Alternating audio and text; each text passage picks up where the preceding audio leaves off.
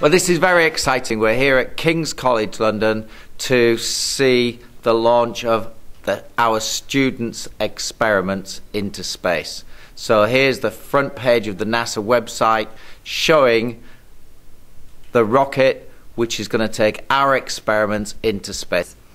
Um, The Wine and Participation Department decided to sponsor places on Mission Discovery because we do think not only is it such an exciting and unique thing to do, but also the students have told us for the last couple of years that they've built confidence and also they feel that it's something that they've built their self-belief. They can see themselves by meeting these really fantastic and inspirational people. Also, it's really good for them to be able to build their scientific knowledge. Again, we've seen, they've told us for the last couple of years that they've really boosted their scientific knowledge on space exploration and the benefits to the human body as well as to the planet Earth. So we're really, really proud to be part of Mission Discovery. We're really, really proud that we're going to be sponsoring it again next year, and we're uber excited for this fantastic launch today because it is the first for civilians, and you'll always be the first people to do it. So we're really proud of them. Hi, my name is Ben. I'm one of the medical students here at King's College London, um, and I was a mentor on the Mission Discovery program. So it was my job just to uh, support the students as they were coming up with their idea for an experiment um, and just to help them develop what they were doing. Uh, so it's been incredible to see them come from just putting those ideas on paper to actually seeing it now going up uh, into space uh, to actually be on the space station. Um, and sort of personally, I'm very excited to see whether or not we can still actually practice medicine in space, which is great. Um, so I just want to say congratulations to everybody. Uh, we're all really proud of you. Well done. So um, we're here today at King's and our experiment's finally going, so we're all super excited. We've been waiting since um, April of 2013. So. Should hopefully go today. yeah, it's been a real privilege being involved in kind of the way our experiments progressed from when it was just a really simple idea that we thought up to and through the help of Julie and Zoe it's become something which is now fit to send into to the um, ISS.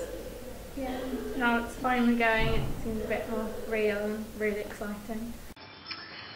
Well, I'm glad to say that we are joined by Siobhan Yarnakalendran, and Deanna Middleton, who were among the first British students to have their experiments sent onto the International Space Station this week, and Chris Barber is director of the International Space School Education Trust, who helps make it all happen. Uh, very good morning to you. Hi. Well, Siobhan, how exciting! It's amazing. It's really, really surreal, um, and we did not expect it at all. So yeah, we have to enjoy this, I guess. Yeah. When's it happening then? Um, sometime this week. We think Wednesday or Thursday. Not 100%.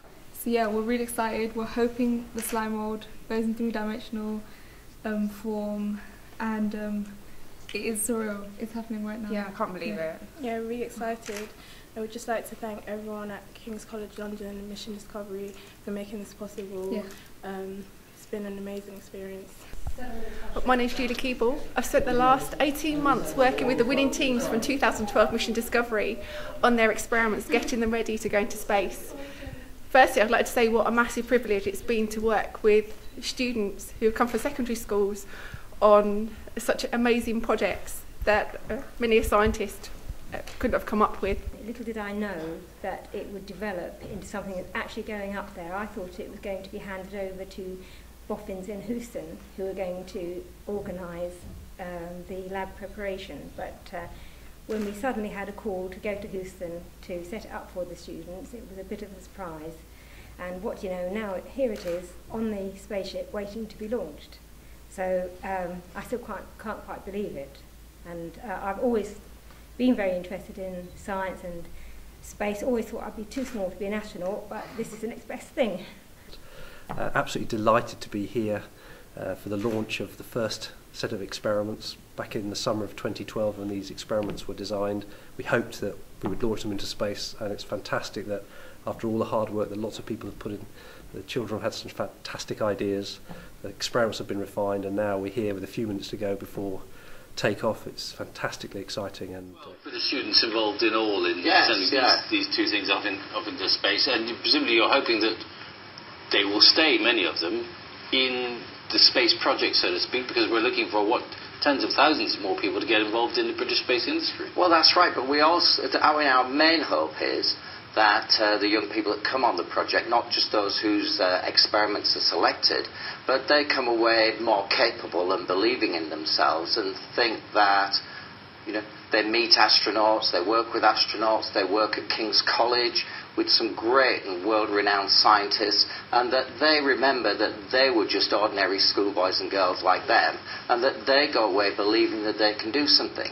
And ideally, if they want to do something in maths and science, which we need, and ideally, if they think about coming into our growing space industry. Uh, it's been brilliant. I think all of us have learned huge amounts about how experiments are sent to space, what's possible in space, and everyone has made such an effort to make sure that today these experiments are actually on the rocket behind us being sent to the International Space Station. Five, four, three, two, one. We have ignition.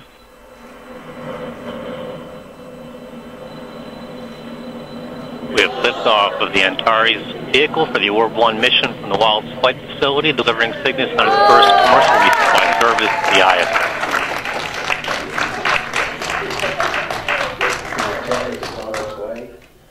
Three, two, one. We have ignition. A number of experiments on board were designed by pupils from Lewisham and Hounslow. The budding scientists, with the help of King's College, won the incredible prize as part of a project to inspire the next generation. The results of the tests will be sent back to NASA from the International Space Station, including research into the effectiveness of antibiotics in orbit. When you bring humans up into space, you're also bringing all of the bacteria that inhabit them. And so, especially when you're looking towards more long term space missions, it's really important that we know how to combat bacterial diseases, particularly in space because um, astronauts' immune systems are slightly deficient um, due to the microgravity environment. And with that, at 7.05 a.m. Central Time, we will call the installation of the Orbital Sciences Cygnus to the International Space Station complete. Second stage capture has been wrapped up by the crew of Expedition 38, so Cygnus now officially installed on the uh, International Space Station at 7.05 a.m. Central Time. The two spacecraft 260 miles above Earth, just to the southeast of Australia and uh, Tasmania.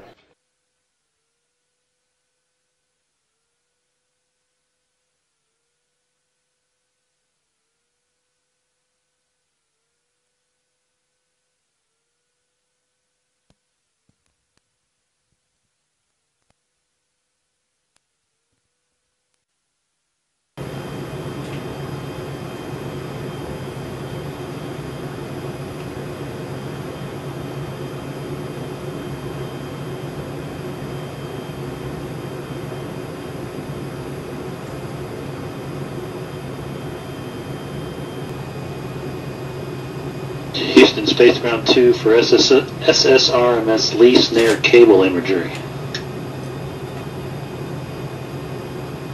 Ground on 2, Rick. He, uh, I took a series of about six, well, six sets of photographs for each of the three snares. Can't wait for the results, what happens and what it actually does. Yeah, thanks. Thank you.